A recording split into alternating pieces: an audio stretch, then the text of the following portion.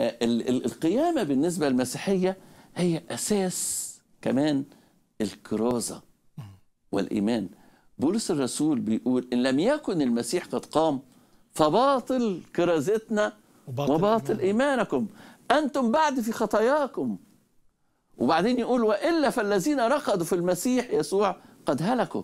لكن ال- ال- ال- الحقيقة إيه؟ الحقيقة أن قيامة يسوع بكورة.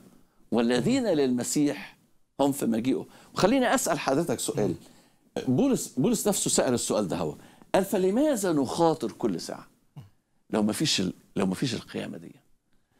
لو لو قيامة يسوع مش قيامتنا ما هو لماذا يعني نخاطر؟ قال بنفس الإصحاح بعد إذنك قسيس في كورنثوس الأولى 15 لو لم يكن المسيح قد قام فإذا كل اللي بنعمله على الفاضي. آه. أصلا وجودنا إسا إحنا على على الهواء الهوا دلوقتي. آه، كمان فاضي.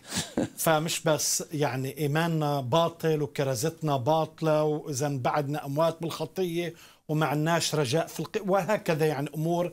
ففي عوائد وفي يعني طبعا. كتير. حضرتك مش بتخدم الرب في أماكن ملتهبة؟ مم.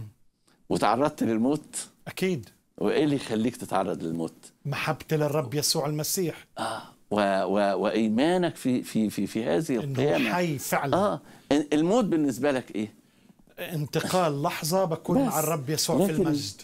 آه وخلى وإيه اللي خلى واحد زي بولس الرسول يقول من أجلك نمات كل نهار؟ وإيه اللي خلاه يختبر حاجات يقول عنها ميتات كثيرة؟